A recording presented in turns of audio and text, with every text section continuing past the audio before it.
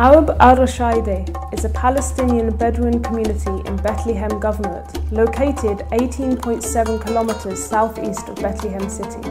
Arab al Rashaide is bordered by Kisan village territories to the east, Kisan village and Amos settlement to the north, Sa'ir town territory and Hebron Governorate to the west, and Bani Na'im town territory and Hebron Governorate to the south. Arab al Rashaide falls within the region identified by the Oslo Accords as a natural reserve area, but in reality it falls into Israeli classified Area C. During 2012, the Applied Research Institute Jerusalem launched a three-year project to alleviate poverty and improve the living conditions of some of the poorest-based Palestinians in the West Bank. This is being achieved through the provision of renewable solar-powered energy to target destitute households in order to build social progress and improve lifestyles.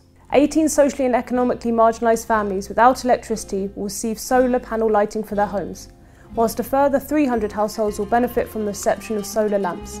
All targeted families live in poverty in small remote communities within Bethlehem Governorate, comprising of semi-nomadic Bedouin herders. My name is Mohammed Youssef Khalil from the Al Rashaide. Before having the renewable energy, we used to light up with gas-led lights. I have four children who are in college and it was hard for them to study at night time. After we received the renewable energy, thanks to God, they now have access to a lighting system at night, where they can use a computer to study more efficiently. In addition, we now have a television, a washing machine, and a fridge. Thanks God, it is as if we are living in the main urban city. Testimonies such as that of Mohammed Khalil show the benefit lighting can have on the education of his children, in addition to the lifestyle experienced by the entire family. For example, the provision of electricity to run a fridge will improve his family's diet whilst ensuring food is stored safely and hygienically. Faleh from Arab Al. My children, grandchildren, and I live together in a house of more than 50 persons. When the kids used to lay down to study at night, they would barely see using the gas led lights. However, nowadays, when the kids come back from their schools, at night they can read and complete their homeworks. Before we had the renewable energy, the scorpions used to bite us as we wouldn't see them. We now use flashlights and lighters to locate and kill them, as we can now see when they're approaching us and we can stop them. From Mr. Ahadewe's story, one can see how the provision of lighting has multiple benefits for target households. In his case, safety within the home has been greatly increased for his children and grandchildren, and they have enhanced opportunities to study in the house. Maha Salem. Before we used to light using the gas light and outdoor fire.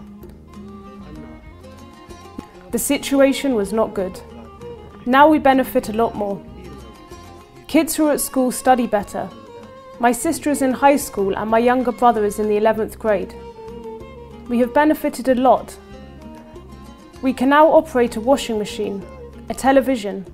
We can run a butter churn and we benefit a lot from it. Now the women are more relaxed in daily home duties. Before they used to clean clothes using their hands, now they use a washing machine. We have developed a lot. My name is Flaha Musa from Al Rashaide. We consist here of four families living together. Thanks God for the renewable energy. Now our life is better. We can see things at night. Before, we used to live in complete darkness. Now we watch television and we can light to check on our animals at night. We used to use gas lights and set wood on fire, which is not easy to find here. And you see, it used to cost us a lot, but now it costs us nothing at all. This testimony shows how large extended families already living in poverty have saved money through the provision of electricity and can use improved lighting to assist them in animal herding, as well as improved development and lifestyle in the home. This clearly represents a vital development programme as the access to electricity can make a significant impact to the achievement of the 8th Millennium Development Goal. The project will run until 2014 and continue to benefit the developmental status of families such as those interviewed in this report.